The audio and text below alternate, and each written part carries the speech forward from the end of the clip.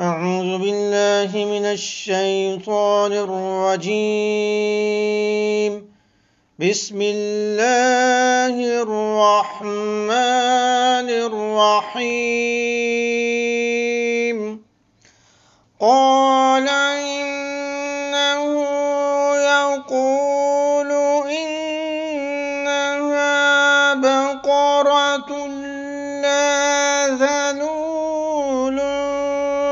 تثير الأرض ولا تسقي الحرث مسلمة لا شية فيها قالوا الآن جئت بالحق فذبحوها وما كادوا يفعلون۔ موسیٰ علیہ السلام نے کہا کہ اللہ فرماتا ہے کہ وہ ایسی گائے ہو جو کام میں لگی ہوئی نہ ہو، نہ تو زمین جوتتی ہو نہ کھیتی کو پانی دیتی ہو۔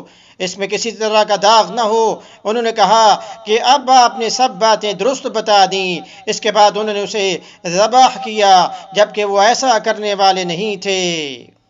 گزشتہ دروس میں یہ گزر چکا ہے کہ بنی اسرائیل نے گائے کے بارے میں بار بار سوالات کیے اور ہر دفعہ ان کی مشکلات میں اضافہ ہوتا گیا۔ تو اچھے سوال سے تو علم میں اضافہ ہوتا ہے، لیکن غیر ضروری سوالات کرنے سے مشکلات میں اضافہ ہوتا ہے۔ تو ان آیات سے میں یہ بات پتہ چل گئی کہ بغیر ضروری سوالات نہیں کرنے چاہیے۔ کسی کا امتحان نہیں لینا چاہیے، بلکہ جو ہو حکم ہو اس کو بجا لانا چاہیے۔ اور بنی اسرائیل کو اپنی اس غلطی کا احساس بھی ہوا تھا جس طرح ہم نے گزشتہ آیت میں پڑھا۔ اب اس آیت میں انہیں یہ بات بتا دی گئی کہ وہ گائے ایسی ہو کہ جس کا مالک اس سے خدمت نہ لیتا ہو۔ نہ وہ ہل جوتتی ہو، نہ کھیتوں میں پانی دیتی ہو۔ اس پر کوئی داغ دبانا ہو تو اس کے بعد پھر انہوں نے کہا موسیٰ علیہ السلام سے کہا کہ اب آپ نے درست بات کی ہے۔ تو گائے کو ذبح کرنے کا ایک تو مقصد یہ تھا کہ گائے کی تقدیس اور اس کی پوجا کرنا یہ ان کے دلوں میں بیٹھ گئی تھی یہ بات۔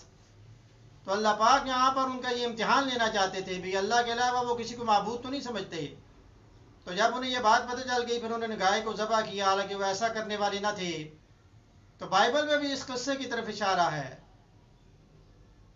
تو اس کے بعد پھر قاتل کا پتہ کیسے چلا؟ وہاں اگلے درس میں پڑھیں گے۔